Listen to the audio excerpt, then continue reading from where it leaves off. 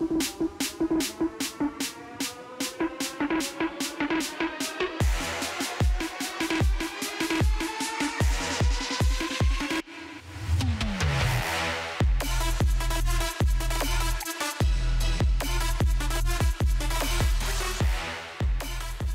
we're heading down the home stretch for this week with track and field homeboys Kirani James and Anderson Peters, along with Jamaican sprinter Elaine Thompson-Herah, are set to headline the Grenada Invitational Meet set for June 6th in St. George's. And guess what? After our Carifta coverage, Sportsmax will be back in the Spice Isle as we intensify our offerings in the build-up to the Paris Olympic Games. The Commonwealth Games 110 meter hurdles champion Rasheed Broadbell of Jamaica is also set to compete, as well as the Olympic 100 meter hurdles bronze medalist Megan Tapper. The meet will herald the celebration of the 40th anniversary of the Spice Isles' first participation at the Olympic Games in 1984. Yeah, um, Donald, this is big for a number of reasons.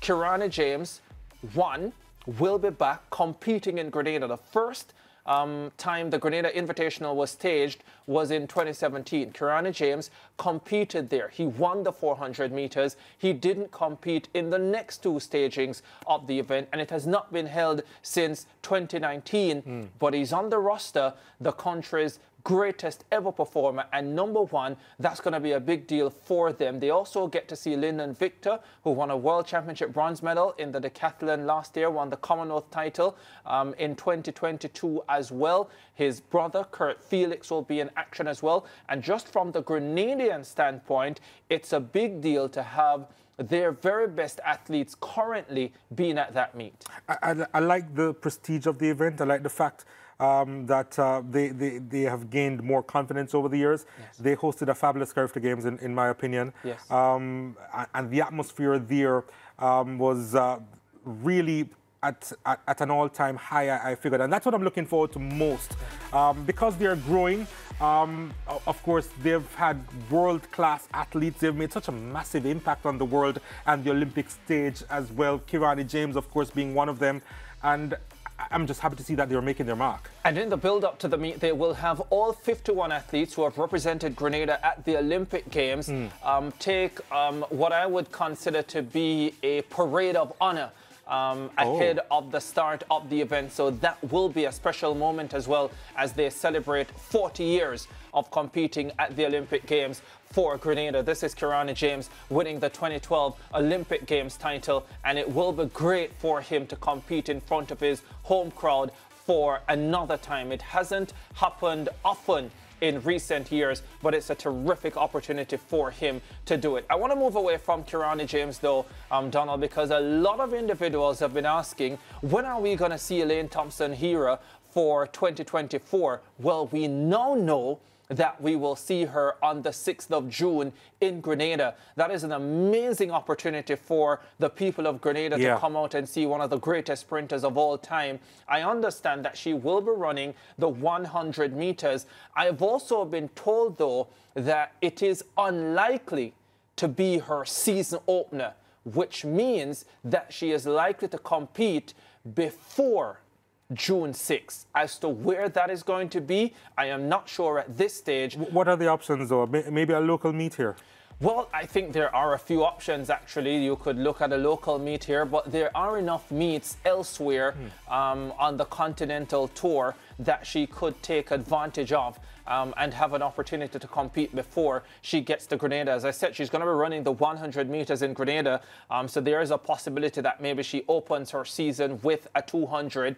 Um, but once again, it is great to see that she has been announced for a meet and that at least her fans know that in short order she will be competing. Um, so that is fantastic news. Still now awaiting the official word on when Shelly-Ann Fraser-Pryce will open her season, but I suspect um, that coach Reynaldo Walcott will be releasing both at around the same time. So I wouldn't be surprised if we hear a Shelly-Ann Fraser-Pryce announcement soon, um, or maybe she'll just surprise us and turn up somewhere. But we have seen the training clips, haven't we? And yes. and, and um, I, I became even more optimistic when I saw those those clips. For And- Elaine Thompson-Herah. yeah, no, Yeah. and for Shelly-Ann Fraser and for Pryce as well. Mm-hmm. Fraser-Pryce. There's a, a most recent clip of Elaine Thompson Hero where she was training at the National Stadium in Kingston and she was alongside a male athlete and they were it looked as if they were doing starts and she got out of the blocks right there with him and everybody is getting excited again because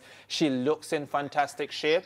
What is also interesting about it because Shelly-Ann Fraser-Pryce, Elaine Thompson Hero, Rasheed Broadbell, who is the Commonwealth Games 110 meter hurdles champion, all have the same coach in Reynaldo Walcott.